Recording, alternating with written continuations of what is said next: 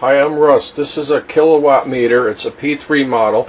I bought it through Northeast Ut- Utilities, the power company. They have a program for conservation. It was about $25. I also seen them at thinkgeek.com and I've seen them at Circuit City. This this helps you, enables you to do an accounting of your electrical and uh, to uh, to cut waste. It has a bunch of settings. The first one the first one is volts, and uh, it's, it says uh, 119.6, 120 volts.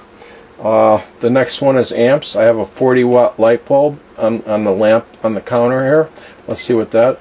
That's 0.33 amps.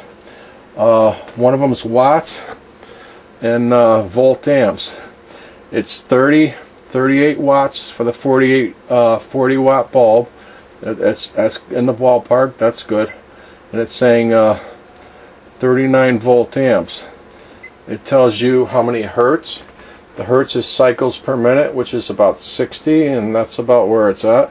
And it also has kilowatt hours. Kilowatt hours, it would take a long time to register.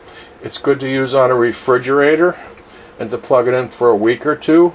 Record how many days and how many kilowatt hours it uses. This is uh, this tells you a lot about usage. Now one thing we're going to do, this is an old-fashioned Edison bulb and we, we're going to we're going to put in the equivalent of a 40 watt light bulb but it's compact fluorescent, a CFL. Let's see how many uh, watts. Now it takes 8 watts versus uh, 40. So that's that's about uh, 25% or less of the power. It's a very inefficient use of power.